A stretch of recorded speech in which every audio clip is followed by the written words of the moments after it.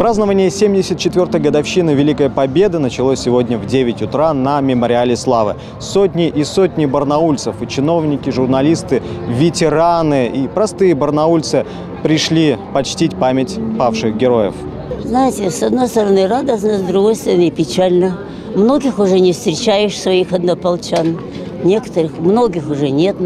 А так с удовольствием встречаешь поставшиеся ветераны, всегда с ними вместе.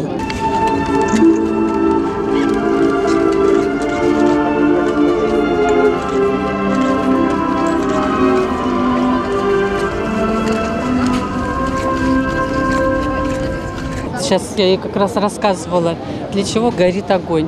Говорю, это как бы символ того, что в наших сердцах тоже горит вот огонь памяти. То есть мы должны помнить тех людей, которые погибли, за то, чтобы вот эти наши маленькие сейчас внуки ходили по земле по мирной.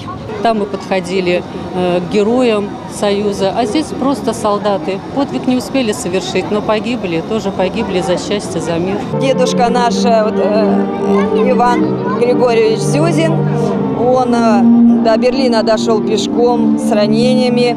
А вот второй дедушка Слободчуков Ульян Николаевич, он у нас такая история, что он ушел перед тем, как уйти на войну.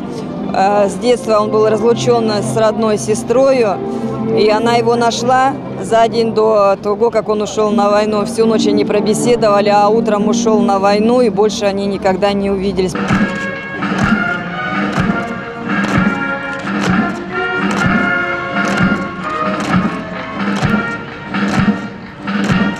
Здравствуйте, товарищи!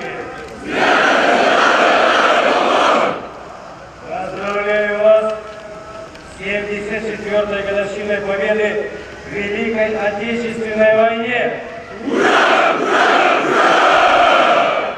И, конечно, самой массовой акцией сегодняшнего дня стало прохождение колонны Бессмертного полка. О том, как это было, подробнее смотрите в вечернем выпуске.